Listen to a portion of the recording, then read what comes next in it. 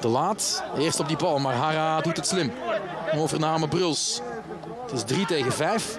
Bruls glijdt weg en De Laat zegt dankjewel en kan eh, een counter opzetten. Goeie paas in de loop van Balikwisha, die wacht een beetje op de bal. Balikwisha scoort. Hij doet het dan toch goed. Heeft eigenlijk dat voorwaartse momentum waar hij bewust geen eh, gebruik van maakt. En dan houdt hij even in en zoekt hij de hoek van aan de halve maan. En uh, Michelange, Miki Balikwisha. Nummer 2, 2,5 voor de thuisploeg. Die geen echt hoog tempo kunnen aanhouden. Nu wil nog niet kunnen opleggen. Maar het is het wegleiden van Christian Bruls. Dat een uh, transitiemoment inlast. Goed werk van Richie de Laat.